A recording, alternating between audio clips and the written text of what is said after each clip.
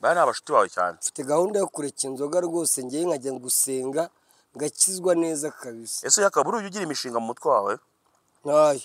Nta mushinga ugira mu mutwe? Nta n'umwe. Icyo nsigaje ni urupfu. Umuntu urwaye sida ntabwo ibisebe bijya byuma. Reba bino byahise byuma. Wa mutipe Aho- yankoze. neza. Ni wa mutipe twarwanyije ubundi wampfungishije. Nanjye yarankomerekeje ariko Mm. ntabwo ari njye wamukomerekeje njyenyine. We kujya hari ahantu byari bikwiye ahubwo bandekuye vuba. Mm. kuba makubita nk'amezi ane cyangwa amezi atandatu. Mm. nari kuvayo ndi ku murongo kabisa. Mm. bandekuye vuba ariko da ntawifuza gufungwa? Kubona n'ubu mbikeneye nasubirayo. Ngo ubikeneye wasubirayo. Hari uburyo se bwa taransiporo yihuse cyane kugira ngo umuntu ajyeyo? Ubwo nakubita umuntu ivide se ni ako kanya rwose Mm. ni uguhita nsubirayo nta kintu nishyuye nta tike nta ni ukuza ahubwo bakanantwara Mm.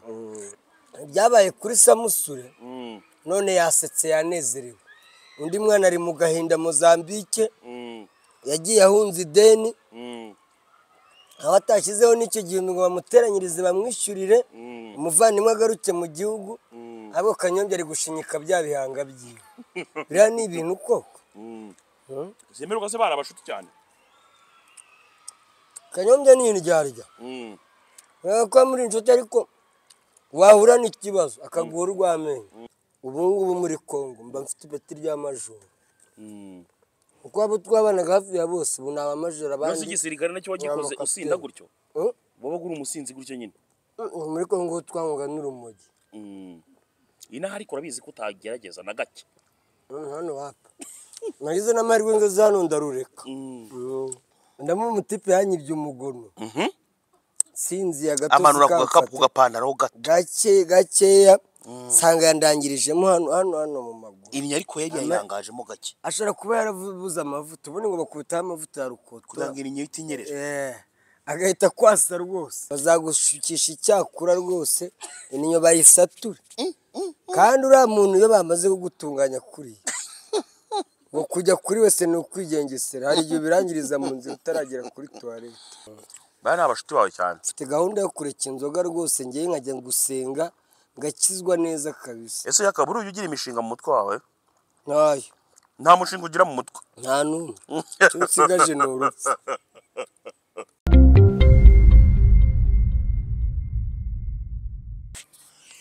ibihe byiza kuri mwe mwakoze subscribe kuri Kasuku Media TV uyu ni umuhungu w'abanyarwanda Jessica izo mipanga icyogere mu nkuba umwami w'abagore. Banyarwanda banyarwandakazi ngira ngo murabibona ko noneho nakomeje kugenda mbashakishiriza amakuru hirya no hino. Uyu munsi wa none nabazaniye umugabo bita Yakamwana. Yakakomere cyane. Mukomere cyane turi aho turashima. Imana eh yakamakuru yawe. Se amakuru ni meza. Mm, Eh, nagarutse mu buzima busanzwe. Mm, aho mvuye murahazi ntabwo nakurirwa nsobanura. Mm. Eh, maze iminsi ndi guantanamo ariko ubu nararekuwe. Eh, harya habaye iminsi ingahe? Eh, nari makubise icyumweru n'iminsi igeze muri icyumweru n'iminsi igeze muri ine. Ah, yaka mu kujya hariya hantu kuri wowe ku giti cyawe wabonaga bikwiye cyangwa ntabwo byari bikwiye? We kujya hari ahantu byari bikwiye ahubwo bandekuye vuba. Mm, kuba makubita nk'amezi ane cyangwa amezi atandatu. Mm, nari kuvayo ndi ku murongo kabisa. Mm, bandekuye vuba ariko da ntawifuza gufungwa. Kubona n'ubu mbikeneye nasubirayo. Ngo ubikeneye wasubirayo. Hari uburyo se bwa taransiporo yihuse cyane kugira ngo umuntu ajyeyo ubwo nakubita umuntu ivide se ni ako kanya rwose. Mm, ni uguhita nsubirayo nta kintu nishyuye nta tike ni ukuza ahubwo bakanantwara mm. Mm. yaka turimo turaza. Ahangaha twakoreye ikiganiro. Abantu benshi bagiye bavuga ngo yaka ngo ukunda guswera. Eh, niko bakubwiye nabyumvishe abantu bagera muri bane. Urabivuze da? Kugira gute? Eh, numvise babivuga. Ese koko barakubeshyera cyangwa koko ni byo? Oya na- narabikundaga ariko ubu ngubu rwose kuva nava hari ahantu. Mm, Eh, ubu ngubu rwose ndashaka kurokoka natangiye n'inzira yo kurokoka ngiye kujya ku cyumweru. Mm. ngomba kuzaba ndi mu rusengero. Mm. naho ibyo ngibyo rwose uramutse ugiye nko mu rusengero wasengera muri uru rusengero muri adeperi muri adeperi adeperi gahogo adeperi yihe ba adeperi hariho hose aho nzasanga adeperi rwose Mm, ku cyumweru mm, ngomba kwinjira adeperi aho nzaba ndi hafi hafi ya adeperi mm. nzasengera aho ngaho kabisa none se ko hari ukuntu ujya wiyogoshesha bya kijama by'ubu ngubu ubwo urabona muri adeperi bazakwihanganira Hmm? urabona muri adeperi bazakwihanganira oya muri adeperi urumva ibyo byo kwiyogoshesha none se kujya gusenga ntabwo ari ukuvuga ngo ntabwo ndi umunyabyaha kuko imana ishaka abanyabyaha. Mm, ntabwo ishaka aba- aba- aba- abakijijwe. Mm, ko eh, kwa muganga mm, hajyayo umurwayi nta muntu muzima wajya kwa muganga. Mm, kuvuga ngo ngende arwaye kubera nyine ibyaha mfite nzaba ngiye kwa muganga. Ujya wemera iby'umuzuko cyangwa se wenda ujya ugerageza ah, kwizerera mu kuba wenda abantu bazajya mu ijuru wowe ku giti cyawe. Ngewe nizera yesu kirisito kandi nizeye yuko ijuru tuzaribona kubera ko yesu kirisito yatwitangiye ku musaraba. Mm, ahubwo mbwira abayisilamu muri gukorera zeru. Nta muyisilamu uzajya mu ijuru. Ubwo se niba wari ufite abafana b'abayisilamu ukaba uvuga gutyo ntabwo bari bugucikeho. Oya cyakora mabuja we azajya mu ijuru da.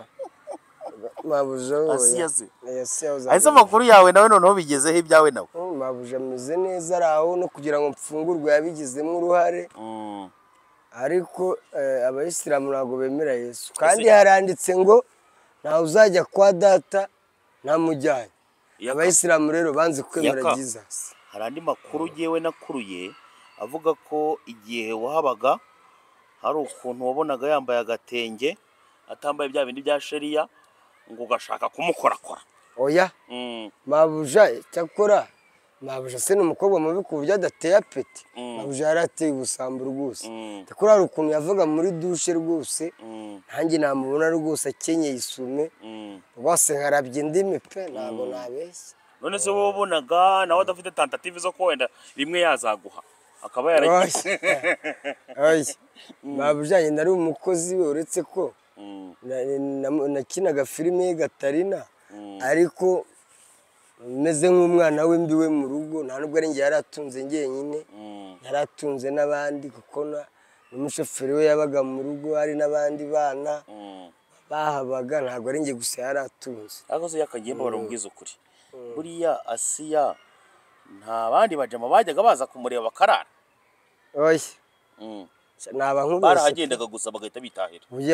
Barazaga Mm, tukarya haba habaye nk'ikirori ari ku marayidi mm, abandi rwose n'abahanzi na ba mico barazaga mm, tukabaga ihene tukarya ariko ntawigeze yinjira mu cyumba cya mabuja mm. Oh. iyo yinjiragamo nyine barabatumaga nk'abana mu rugo Twebwe- twebwe "Mwe mugiye, mwe twarayinjiraga." twebwe twabaga turi mu rwari rya hano mu gatiyaka ikintu uzanire wenda iki- telefone yanjye nkagenda nkayimuzanira njye mu cyumba cye ninjiragamo. Mm, ko nari meze nk'umwana mu rugo. Mm, ariko abandi bagarukiraga muri salo. Mm. Eh, yaka ya. umuntu bita gatsiri. Niwe muntu watumye uba icyamamare igihe wamuneraga. Gatsiri ahubwo ni njye wamugize icyamamare. E, umubano wawe nawe bigeze hehe? Gatsiri ubu ngubu rwose tumeranye neza n'ejo bundi nkiva guantanamo. Mm, bakimara kundekura. Mm, yahise anyoherereza akaboyero kabisa. Mm, mu bantu banyondoye ba mbere gatsiri nawe arimo yahise anyoherereza agasupu rwose none se nk'abandi bantu baba mwaragiye mubana mu nkambi harya mwabaga mu nkambi ya hehe twabaga mu nkambi ya gihembe eh, ibyumba. Eh, ka harimo nk'abandi bantu mwagiye mubana mu nkambi ntajya numva ukunda kuvuga ariko bagiye banakubera imbwa. Nagira ngo mbwire mu bantu nka batanu. Baje kukubera imbwa bakimara kugera muri leta zunze ubumwe za amerika bakajya baguhamagara bakubwira ubusa ntacyo bakumariye. Abantu batanu bavuge mu mazina. Abantu batanu? Bakubereye imbwa. Oya ntawambereye imbwa. Ntawambereye imbwa rwose. Mm, Eh, uretse ko wenda wenda ahubwo ninjye wababereye imbwa. Mm. ko njye barambura. Nta telefone ngira. Nta telefone ugira. Nta telefone ngira njye nta n'uwo narenganya Mm. hari n'abanshaka bakambura rwose. Mm. reka mbanze njye nageze uyu mupira Ura- urikubita hasi yaka. N'uw'abana ku ishuri. Nyamara kera wari uzi kugaconga Eh, nari nkazi. Nari umusiporutifu. Waragacongaga da nari biragaragara nkazi rwose. Mm. none yaka. Mm. ubuse bimeze bite? Ugira abana. Ugira umudamu ubayeho ute mbo nta mugore ngira Mm, nta n'umwana ngira mm. nta na data ngira Nta na mama ngira. nta n'umugore bakubeshyera se cyangwa umwana? Nta n'uwo bambeshyera. Ngewe n'iyo ndongoye ngura ku kiro. Mm. ngura ku kiro ubu none ikiro kigeze kuri angahe? mbo biterwa igihumbi bibiri bitanu ubwo ni ukurara. None se wowe iyo ugiye kugura ugura ibirara ugura pafu pafu bigenda bisa ushobora kurara cyangwa se bakubita icyo bita mm, kupurese kuprese? Eh, kupurese ni ka kandi ka vuba vuba ucomora. ka kandi bita ngo ngo kambiyo mbiyo kambiyumbiyo bakita Eh. kupurese Mbanze nkuzanira ibiryo se tube dukore tunarya reka reka nze rwose. nkuzanira ipura yawe dukore tunarya gake gake tuganiriza abantu siko bimeze kuko rwose ipfa ryaza kuza kukwica zana zana n'ibyo ngibyo bye salade iri? rwose salade iremwa Mm, mm. ibiryo bidafite agasalade yaka oya ntacyo bitwaye akaboga ni akaboga icyo kunywa cyanjye nta kibazo bugisize Icyo aho ngaho kunywa kibe kiri Bugisize- aho ngaho. ugikuye muri kamera yaka? Yes. agasalade ko batagashyize agasalade nako eh kora kora kareba agasalade Eh, yaka? Yes. Tugenda tunaganira gake gake waherwa kurya akanyamakuru urimo se Eh, ntabwo nari mperutse kabisa. Mm. Mm. mbwira buriya nangaga igitoki Mm. ku gitoki buriya ngo gitera kanseri. Mm. ariko agatoki ndumva kameze neza rwose. Kaciye mu mavuta. Kaciye mu mavuta kabisa Mm. Ese buri mubano wawe n'akanyombya umeze utera kanyombya ni umwana mubi Mm. kanyombya Mm. yumvisha ibyabaye kuri samusure none yasetse yanezerewe undi mwana ari mu gahinda mozambike yagiye ahunze ideni Mm. aho atashyizeho n'icyo gihumbi ngo bamuteranyirize bamwishyurire. Umuvandimwe agaruke mu gihugu Mm. ahubwo kanyombya ari gushinyika bya bihanga byiwe biriya ni ibintu koko Mm. Hmm? zemerwa se bari abashuti cyane kanyombya ni indyarya Mm. urabona ko muri inshuti ariko wahura n'ikibazo akaguha urw'amenyo Mm. Mm. none se umushuti wawe akadasohoka cyane bita manibu akimara kumva nawe ko ntuza samusure yahuye n'ibyo bibazo we yashyizeho iriya tafari ni we wampaye gahunda ariko uburyo namwumvise. Mm. hari itafari ari bushyireho kabisa. Manibu ni we wanampaye iyo mesaje Mm. ni we wampaye iyo mesaje wa mbere kabisa. Ariko manibu ni umuntu wawe cyane. Mm, ubu ni umuvandimwe ntabwo nta naburara nta gahunda ufite yo kuzamunera se? Eh, manibu Mm. ntabwo nakora ikosa. Mm. ubona nereye ntiyago w'indyarya yagukoze bikize kandi we? Yago yanzanyeho ibintu by'uburyarya n'ibintu by'ubwiyemezi Mm. byerere ibintu byo guhendahenda buriya byarananiye Mm. ntabwo tuzabana ngo urugo ngo upfukamira byagenze bite? mm, mm. yago twapfuye n'ibintu by'ubusa ibihumbi niba ari mirongo itatu njye namubikije ibihumbi ijana ndamubwira tujye unyohererezaho bitanu Mhm. kwa kundi mba nakubiswe unyohererezeho bibiri kugeza igihe azarangirira. Mm. ageze mu bihumbi mirongo itatu sinzi akajambo kabi namuvuze kuri cano aba arirakaje. Umuntu urakara nk'umugore nk'uruhinja. Mm. ubwo se si ko twahoraga tugirana ibibazo Mm. sinagarukaga mu rugo. Ariko umuntu niba mugiranye akabazo gatoya ngo ndakuborotse ngo ntuzongere no kumvugisha. Ngewe rero ntabwo nzi gufata muri mama mama. Mm. nubwo waba umbitse mu zuru wampfuye Mm. komeza ingero. Ukiva ukiva Guantanamo aho witaga Guantanamo Mm, wahise uza mu gihugu neza neza ndi mu bantu ba mbere wahamagaye mm. bahise bajya kukwakirira hehe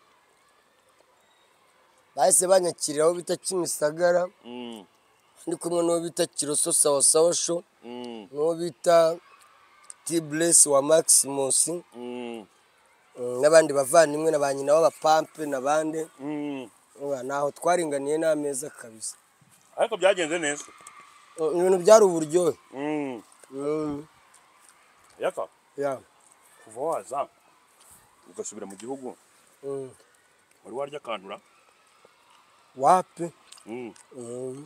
Byatewe n'iki? Ntabwo urajya kugura ku kiro? Eba na n'ubu hari hari umuntu nari umukiriya we. Bamwita rayisa n'ubu mu gitondo yampamagaye se bite? Kutarangeraho ngo nguhe pole bimeze bite? Mm. iriya ni pole kuko ashaka kuma ni, ni boyiro se? Cyangwa ashaka kumpura Mm, ngo agatunguru ayishyiraho none se? Mm. murabasha shaka ushobora gukubita nk'amatura angahe Mm. ushobora gukubita nk'amatura angahe we nashyizemo akayoga gakarishye ubwo ni ka tunuri na dutanu nadukubita nijoro da. Se turiya ibi- ibingana ite iminota ingahe ni ukuvuga iyo nanyweye akayoga nkabona kumara n'iminota nka kenze ku ituru ya mbere nasomyeho ariko uwo nasomyeho ni bipe nga bipe iyo utagasomye aka Mm. ko nteye ubwoba. Ubwo ni ukuvuga ngo ituru ya kabiri ni amasaha abiri ituru ya kabiri hari n'igihe mvaho Mm, narangije. Mm, umva ndarushye rwose bavuga ati njyaho kugira ngo nzicwe n'akazahoraho. Ngakora ko nshoboye. Ariko ugasanga umuntu ari guhatana yabizi by'uyu mubiri wose uri kurwana n'iki wakoze ko ushoboye ukava. Njye ndinze ngwa mu maguru y'umugore. Si nko kwicwa n'ibitoki ubwo si ibitoki wazabimara kuri iyi si. Ndetse yaka wowe ukigurira he? Abandi bavuga ko bakibuze. Abacuruzi barahari rwose. Mm, hano za giporoso sodoma hari nsanze. Mm, barahari rwose bacuruza umubiri kabisa. Mm. Mm. inoti ya gitatu na gitanu. Mhm. Mm, tatu gitanu rwose ukikura. Nawe baranankupa mm, umwe mukobwa nkubwiye witwa rayisa mm, iyo nayabuze arankupa kubera ko ndi umukiriya mwiza. Mm. nanjye nayabona nkayazana. None se ubwo ni biri mu bimwe muri bimwe bituma nyine akomeza kuba ameze nk'umukene kandi ahora abona amafaranga. Kuko uhorana ibiraka byinshi. Ako se amafaranga tubona ni ayahe? Mm, wowe rero interiviyu umpaye ibihumbi icumi umpaye bitanu. Mm, ubwo ayo mafaranga koko wayapangamo uwe mushinga. Hmm? uretse kunywa nk'iryo cupa. Mm, wagira amahirwe ukabona n'icyama wenda cy'igihumbi Mm. ka kupurese agaturu kamwe mm. wumva koko amafaranga ibihumbi icumi wakoramo iyi mushinga ko. Ese buriya nta makampani yari ya- yari ya- yari yaza ngo ku- ngo akubwire ngo uyamamarize? Umuntu uri gushaka kwamamaza sikore ndabura icyo gihe nakundaga icupa Mm, babwiye mabuja siya rwose ati akaba aramushaka. No kuri infinix. Ngira amanajya mubi nubwo yigendeye mm, bita vidi frank. Mm. byose akajya agenda bizambaguza bivuze ngo ubu ubwo ntabwo ndongera kubona indi gahunda kabisa. Bivuze ngo ubu yo kwamamaza ihagije. ubu ngubu tunzwe no gukora ama interview yo kunera abantu. Abacyumva nkinera abantu se ngewe Mm. byagiye bihinduka biteze umuha muntu gituka rwose. Tukanaga mbere. Aho umuntu yaza akagura ibiceri ati mutuka runaka. Ati ntukira runaka. Mm. naje kureba nsanga biriya bintu rwose byazaguteranya n'abantu. Mpa nk'urugero rw'abantu baguhaye amafaranga ngo batukire ba runaka ugasanga byaguteranyije na bene byo. Ubwo hari ukuntu umuntu atakubwira ati ntukira runaka ariko akabigucisha mu zindi nzira. Mm, mm, urumva? Wowe ntubimenye urabona hari ukuntu uba ukinjira muri entertainment utazi ibyo ari byo. Umuntu akakujyana mukaganira bisanzwe mm, yagushyira imbere ya kamera rero mhm. ugashiduka wavuze. Urumva bitewe n'iki? Kutamenyera ibi bintu bya entertainment. Ariko kubera ko maze kumaramo igihe Mm, ntabwo wanshyira imbere ya kamera ngo mpfe kuvuga ibintu biterekeranye. Mm, Ah, ariko iyo ukiza abanyamakuru nabo ba- ba- b'abayutubazi nka bariya mm. emi kwanza emi wo kuri siridi ngiye mbanze nanabimubwira yigeze kunukisha umuntu. Aragenda aransuka ari we aranabimbwira live. Arakubwira ngo ugiye arambwira runaka. umutuke umutuke. Icyo gihe rero kubera nakunda gicupa cyane Mm. ibyo wambwiraga nanjye nakoraga ibyo. Arambwira ngo nintuke uriya mutipe w'umutinganyi bita ndera. Uriya wigize umugore ninde ndamwibagiwe. Arambwira ngo ni umutipe naramuharasinze ahita ahaguruka n'imbere ya kamera avamo arigendera. Ige ige Mm. ariko nyuma yaho namusabye imbabazi ebana biriseriye nsanga nakoze ibintu by'ubumwe. Biturutse kuri kuri ya eminya uriya wo kuri seri Mm. bazi kuntukisha umuntu nta bivuze ngo si wowe wenyine babikoresha ibyo bintu. Barahari? Bakoreye babikoresha abantu benshi. Cyane kabisa. Yaka? Mm. ikindi kibazo cy'amatsiko njya nkugiraho. Sibyo? Mm. buriya nk'uko bivuze gutyo ntihari ukuntu ahubwo umuntu yanagusemburamo gake ashaka nko kwitukira umuntu runaka ugahita umufasha kumutuka. Cyane rwose. Nagufashe kumwandagaza Mm. Ariko nyuma yakwicara ukabona ni ububwe ukabona ni ububwa rwose. Aho uriya muntu namuhuragize Mm. nta n'ikibazo nari mfitanye nawe. Mm. Muri ino minsi se ubayeho ute Muri- iyi minsi hari umuvandimwe wanjye turi kumwe. From USA ni we uri kumfasha akaboyiro ndi kurira ku gihe. Nkaryamira ku gihe. Ni umuvandimwe bita ndagije eh, kutoka USA ni we uri kumfasha muri iyi minsi. Mm. Eh, ndi kugera iwe rwose. Yarambwiye ati wowe yaka. Inzara ntikakwice ndi hano. Ujye uza urye. Abakozi banjye barahari. Mm. ujye uza ibihari ibyo nariyeho. Aba ari byo nawe bakugaburira. Mm. mushimira cyane ndagije rwose muri iyi minsi ari ahangaha. Niwe uri no kunyondora rwose. Kuva nava muri gereza ndi kurara iwe nkaryiwe namara kugenda ubwo ntazahita agukwepa nyine ntazongera kujya kwitaba? Eh? amara kugenda n'ubundi tuzatuvugana kuko ni umuntu wanjye kuva kera kabisa. Mm. Ni ukuvuga ngo urabyizeye ko ndagije azakomeza kugufasha. Cyane rwose. Mm. mbere yaho se ndagije ataraza? Wari ubayeho ute? Mbere yaho nari ndi mu buzima busanzwe. Mm. nijya para agisida mbese kurya byari nk'impanuka ariko ariko ubu ngubu nyine naho ndagije ajiye ubu ngubu urabona ko akabiri gatangiye kugaruka. Mm. Mm.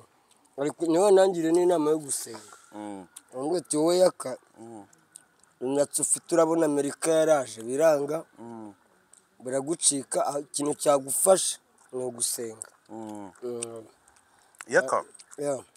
kuko abantu benshi bajya bavuga ngo iyo bamaze gushyiramo agacupa ngo utakontorore yose totali Niko wowe urabivugaho iki? niko kuri kabisa. Mm. ngewe nanyweye agacupa nkarenza urugero. Mm. abantu icupa riranyobora rwose. Ugakora ibyo utagakwiye gukorwa. Utakwiye gukorwa kabisa. Cyo ni cyo ntabwo bambeshye. None icyo kintu. Kugira ngo kiranduke burundu yaka ajya nko mu rugero. Kuko urabizi gahunda turimo muri iki gihe ni ukunywa resi iyo gahunda se ntirakugeraho cyangwa ntikureba. Kunywa rero ubushatsi bw'igiki kunywa gake mu rugero. Kunywa gake mu rugero. Mm, tunashaka no kuzireka ahubwo burundu nkazivaho nyabyo. Mm, kurabona ngewe mbere byageraga aya masaha. Ebana nujuje ndi furutanka mm, kuko mbere hari n'igihe byageraga saa mbiri za mu gitondo mbere noneho nyinywa icyuma. Mm, nyinywa akanyanga mu nkambi mm, saa mbiri za mu gitondo twabaga twasinze twatangiye kurwana. Saa mbiri za mu gitondo. Mm, ariko ubu urabona ko saa kumi ntizigeze se. Mm. nta n'icupa nari nakoze ku muntu kandi ntabwo ari ukuri burasa ubonye hano nsanze. Eh, bari no kumbwira ngo bakugure icupa gatereka ari. Mm. Mm. baya ni abashuti bawe cyane. Mfite gahunda yo kureka inzoga rwose ngewe nkajya gusenga ngakizwa neza kabisa. Ese yakaba ujya ugira imishinga mu mutwe wawe? Ntayo. Nta mushinga ugira mu mutwe? Nta n'umwe. Icyo nsigaje ni urupfu. Ni ukuvuga ngo wiberaho nyine gutyo nta mushinga mwiberaho nk'uzapfa ejo rwose. Mm. nta purani Ubwo se ntiwaba waramaze kumenya ko gahunda mu maraso bitayi- mm, bitagenze neza ariyo mpamvu nyine ushaka kubaho nk'uzapfa ejo ndi muzima. Mm, kuko ndwaye sida nahita mpfa ndya gake. Mm, urumva? Inzoga nyinshi. Ndwaye sida nahita numva kamanze nguhe n'urugero ariko. Umuntu urwaye sida ntabwo ibisebe bijya byuma. Reba bino byahise byuma Mm. byo wa mutipe Aho- yankoze. neza. Ni wa mutipe twarwanyije ubundi wampfungishije. Nanjye yarankomerekeje ariko. Mm. ntabwo ari njye wamukomerekeje njyenyine. Iyo biza kuba ndwaye sida rero ntabwo byari kumwe. Kandi nta n'umuti nashyizeho. Ariko uri umuntu yaragukubise urwaye sida hmm? arabanje aragukubita bya danje. Ariko akunda uwo Yagufashe. Na- yagiye no mu- yagiye- yahise ajya mu bitaro. Njye bamujyanye ku bitaro njye banyuza kuri sitasiyo ya polisi. Njyewe Mwese sa urumva- nkunyuriramo ukuntu wamugufashe kace ya Kosa, bite byawe Eh. ariko kameramani uyu mugabo buriya aranzira. Buriya ari kubona abyimbye kuriya buriya nagukora mu gifu. Wowe- gasuku. Wowe buriya nshobora kugucunga gato kidogo. Eh. nkabaruka gato gusa. Ahita ngukuramo ibifu ngewe. yaka.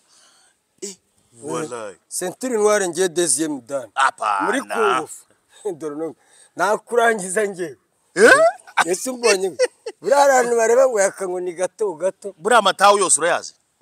Amatawu yose yo muri kungufu kata zose? Eh.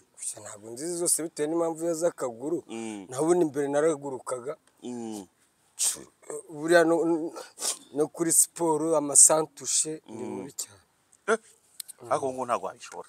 Inzoga zamaze kujyamo.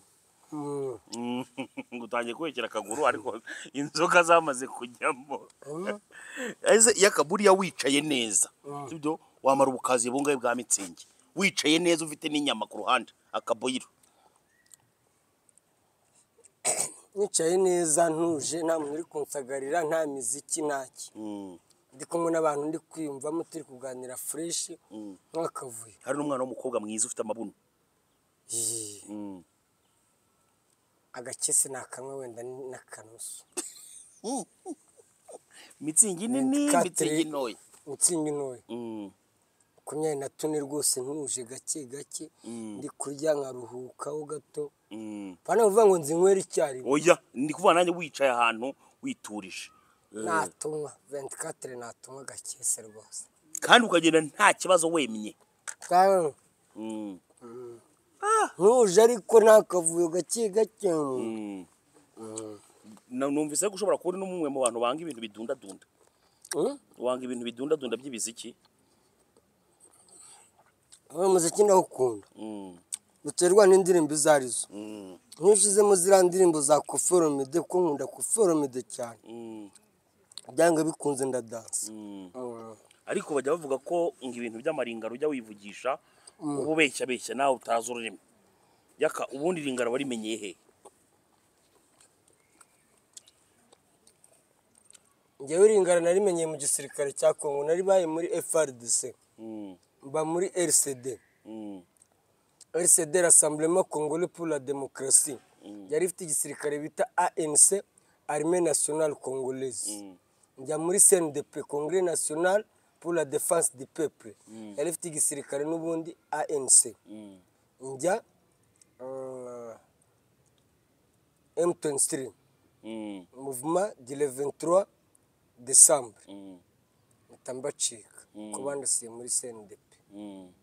mba muri frdc force armée pour la république démocratique du congo. Mm, urumva rero nta kuntu naberwa iringara kuva mu bihumbi bibiri ngenda umurwanyi muri congo mm. ntabwo naberwa iringara ariko nyine hari n'igihe nawe nyine bigusoba ukanabeshya njyewe navuye muri congo ndi premier lieutenant. Mm, nimero matricule na ngayi sai 3 33012 barge 8e région militaire goma. 5e brigade intégrée.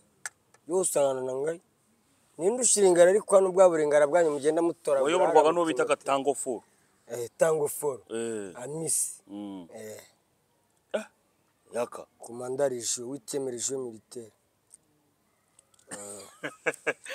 Ariko nawe jya upindapinda utuntu tumwuka tugwaho ntabwo ari kuvuga ngo ngo nugwa. Ngira mbisubiremo utuntu tumwe tugwaho ntabwo waberwa nimero matricule yawe. Mm, nk'umusirikare mm, ngo waberwa nimero mikano. Mm. ni ukuvuga ngo ebana nawe uri umwe mu bantu bakaze cyane. Njyewe icyo nakubwira cyo. Ubu ngubu muri congo mba mfite ipeti ry'amajoro kuko abo twabanaga hafi ya bose ubu ni abamajoro abandi igisirikare na cyo wagikoze usinda gutyo? Eh? wabaga uri umusinzi gutyo nyine? Muri congo twanywaga n'urumogi. Inaha ariko urabizi ko utagerageza na gake. Mm, hano wapa nagize n'amahirwe ngeze hano ndarureka. Mm. Mm. ese yaka ko mu isura yawe hagiye harimo utuntu tw'ingumamo ukuntu ni ahantu abakoboyi bagendaga bakudoma? Hari ukuntu nasindaga. Bakakudoma. Nkagonga igikuta. Ah, gakora impanuka. None si ibyo kukudoma byo nta mukobwa biragukora mu matama. Oya Mm. Keretse umwana umwe eh, wanteye ibuye kera tukiba mu nkambi ariko ubu yagiye muri amerika Mm. ni we wankubise ibuye rya hano ku zuru. Mm. umwana wa papa shukuru gahunde Mm. Eh, yanteye ibuye ahantu bita muri gare ijisho yari arikuyemo ngiye mbabarira umbwira ibintu wabonye. Iryo buye rikimara kugukoraho umbwira ibintu wabonye mu maso. Ngewe iri buye rwose nagiye kubona mbona amaraso gusa. Ariko kubera uwo mwana yari umwana w'umubosi se yari ikibamba mu nkambi Mm. nanjye naramuhize mu kubita irindi tafari rya hano mu rubavu. Umwana arunama aragonga. Oya ngeri kugira ngo umbwire ibintu by'ibinyenyezi wabonye oya buriya hari umuntu ugukubita urushyi apana igishyi. Mm. ko hari umwana uba ufite ebana ikiganza kabisa arugutambika. Mm. Nubwo rutafata ijoro cyangwa se ngo rufate ibindi bintu ukarwumva nyarwo Mm. ukabona ibishishi mu nkambi ndagira ngo maso. noneho utuntu tudukoryo wakoze dutuma nyine bagushyira hasi bagakubita. Ngiye mu nkambi nari umusitari. Ngiye nabaye umusitari kuva kera. Mm. mu nkambi nari umumutsi nari umuhwituzi itangazo itangazo. Purani iramenyesha abana bose bari munsi y'imyaka cumi n'umunani ko dufitanye inama kuri purani international ejo saa cyenda. Cyangwa se mukajya gufata ibigori. Hasere iramenyesha impunzi zose ko ejo ku wa kane ari ugufata ibiryo guhera kuri katiye ya mbere kugeza kuri karitiye ya cumi na kabiri. Ibyo ni byo wakoraga. Nibyo nakoraga mfite icya kimikoreba noneho hari ukuntu nakiraranaga amatangazo bampaye saba ariyo nshyiramo nkikubitiramo indirimbo nkarikodinga indirimbo. Nkara ndi gusakuriza abaturage ijoro ryose. Bagahita banuma none inzu yawe inzu yawe inzu yawe mu nkambi iracyariyo irahari. Oya ntabwo bari bayima ariko ningeraho bazayima. Mm, kandi barakwirukanye nyine kubera ko bagiye bakubura kenshi na kenshi ugiye kujya muri amerika. Mm, ntabwo banyirukana wanyirukana uzi twanjyanayo ndi impunzi Mm. kandi mfite ibyangombwa by'im- by'impunzi ndi no muri mashini wankura muri mashini ni na byo ugenderaho nyine ibyo byangombwa by'impunzi. Mm. buriya se no mu bintu byagufashije kugira ngo uve hariya wari uri? Hariya. Mm. hari n'aba- n'abavoka bashinzwe kuburanira impunzi ba- bahembwa na hcr Mm. ari yangezeho mwavoka kare rwose ari kuzansanga mu rukiko. Mm, warigwaga icyaha cyo gukubita no gukomeretsa? Wese ntabwo wigeze werekana aho wakubiswe? Naraherekanye ni ukuri amutipe ari wari wakomeretse cyane. Mm. ariko aza kunsabira imbabazi umushinjacyaha aramubwira ati ariko nawe umusabe imbabazi. Mm. ko nawe waramukomerekeje. Mm. kandi twararwanye urumva yari yasinze nanjye nasinze. Kandi ari umuntu twari dusanzwe dusangira. Aravuga ati niba mwari musanzwe nta kindi kibazo utari ubigambiriye mwumvikane mbarekure umushinjacyaha turekura gutya none se yaka? Buriya ntago ujya utungurwa no kubona wenda hari abantu bashaka gufata nk'inzanga. Hari nk'umuntu ushobora kuba yagusuhuza ukabona ariko wowe nyine ko afite gahunda yo kuba yagufata nk'inzanga. Ntabwo bijya bikubaho kenshi na kenshi. Bimbaho Mm. ugasanga umuntu araje. Mhm.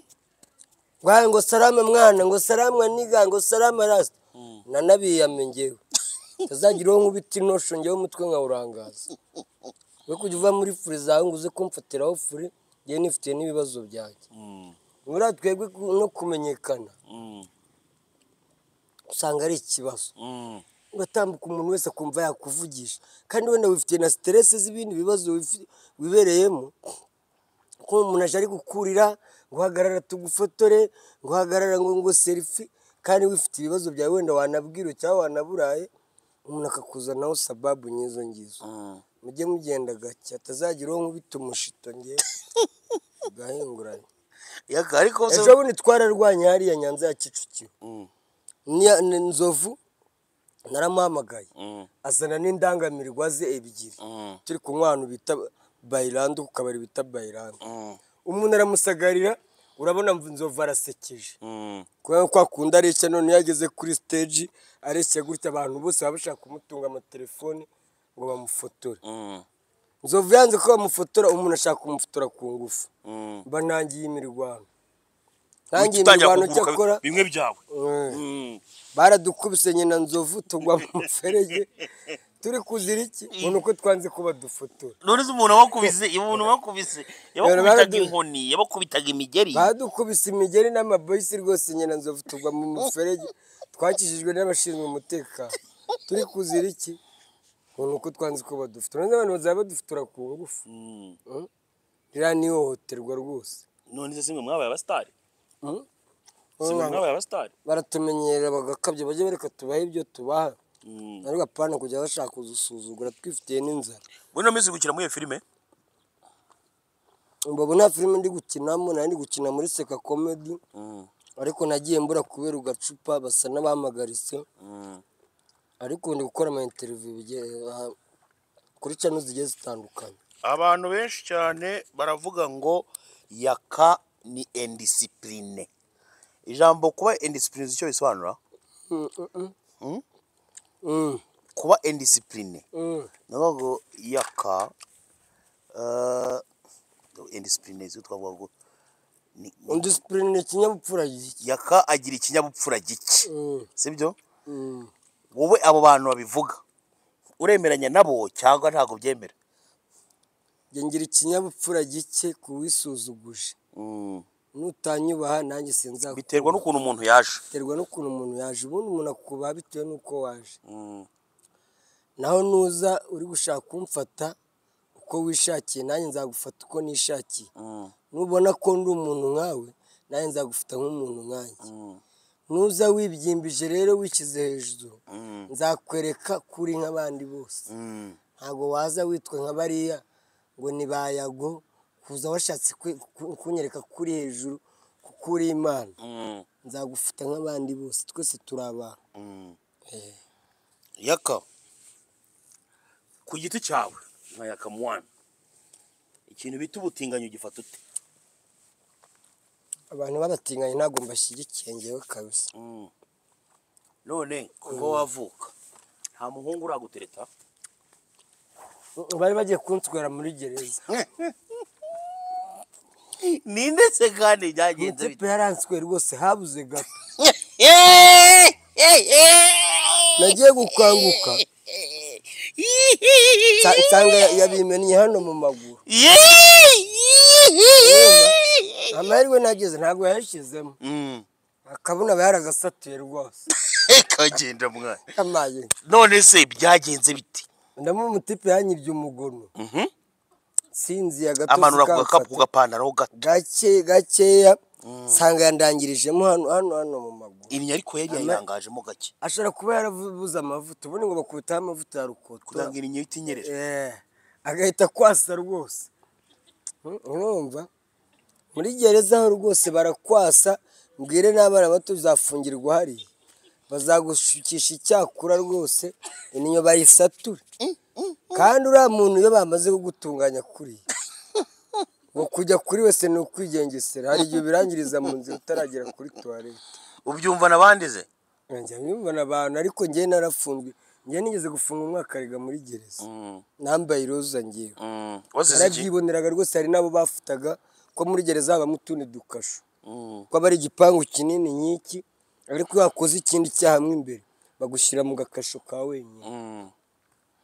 urumva rero hari abo bafataga rwose kuri iyo mpamvu ugasanga umuntu afite burundu noneho Yakata. bakagukubitaho n'iyo dosiye noneho barababwiye ngo zizajya ziba burundu ebyiri umuntu wazongera gufata yati- yatinganye muri gereza Mm. ni burundu wowe se ebyiri kuva wavuka nturabona umuhungu mwiza ngo wumve uramukunze ni izina nubwo yaba ameze upfa kumva ko ari umuhungu gusa. Mm.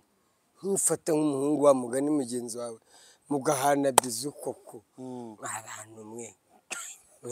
Biba- birarenze. Kandi ngo biri muri adeperi adeperi ngo kandi ari we ugiye kujya gusengera. Ubwo si ibyo ukurikiye? Oya? Mm. ngiye gusenyera muri adeperi ni uko rwose adeperi ngiye nyiyumvamo. Kuva na mbere narabivugaga. Mm. ariko rero ibintu byeze muri adeperi by'abatinganyi ni iki? Mm. Ririya dini bari kurisebya kabisa. Bazagutinga rero ninyo bayisature.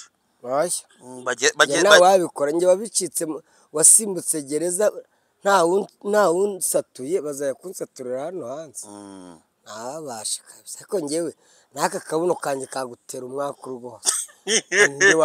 Ninde wandungura ko warungura n'umuntu wenda uteye uteye apeti wenda ari nka ari nk'umuhungu ubyibushye w'ibogaro ukuntu nkanjye koko. Warongora he koko? Ariko nawe ubona udateye ifimba akareka none ni icyaha kibi. Imana yaravuze ngo mubyare nkururuke. none se umugabo n'umugabo babyara koko? Hmm?